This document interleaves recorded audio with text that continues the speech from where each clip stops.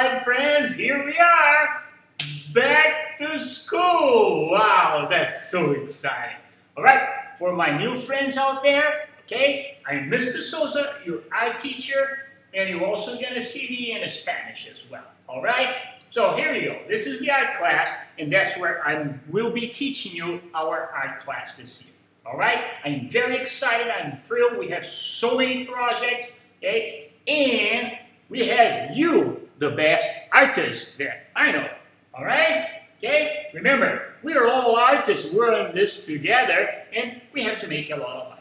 Now, our first lesson is going to be a simple lesson, just to refresh your memory. You know, you're in the summer, you're just like, you know, playing around. Now, we're going to go back to the art. Okay? Do you remember this painting? All right. I bet you if I ask the Wood family, they would know.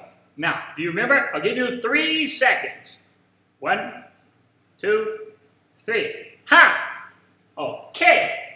I think I heard somebody back there saying they know. Oh, ha ha, I know you remember. That's our dear friend. Oh, come on. Not going to work.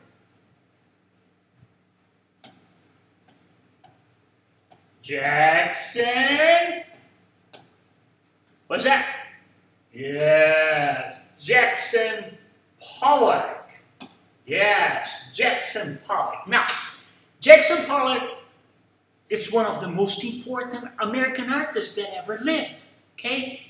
And even though he only made lines, his work was very important. If you remember, you know, he would move all around. He'd make lines all over. He was a lot of action. His painting was a lot of action. And they were huge. So he painted very, very, very big paintings. Okay? Now, one important thing about Jackson Pollock is like, Jackson Pollock is an artist that can help us understand how lines in an artwork works. Okay? Because lines are very, very important for us.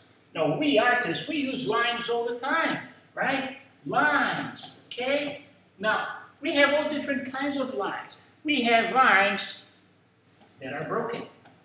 We have lines that are straight. We have lines that are curved, right? We have lines that are curly, okay? We have lines that are thin, right? And we have lines that are thick. So, this is what we're going to do. So I'm going to let you do any kind of artwork that you want using lines, all right? So I'm going to do one myself, and I want you to watch it. Okay? All right, my dear friends, here we go.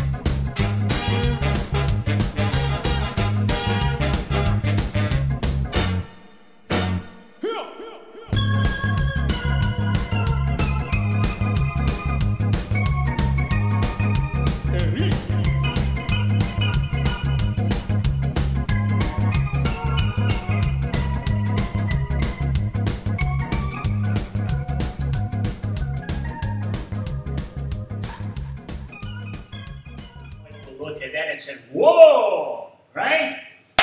There you go, first graders. Go ahead, create your own line project. It could be anything. If you feel like a Jackson Pollock, be Jackson Pollock, right? Why not? Okay? You can use paint, you can use uh, crayons, you can use markers, you can use whatever you want. You can do whatever you want. If you feel like going outside, yes, on a sidewalk or in a driveway, just go there. Be your Jackson Pollock. You use chalk. Okay? All right? Do your artwork, and I will be back to you talking to you again. All right, first graders, welcome back to Hillside. Woo, woo.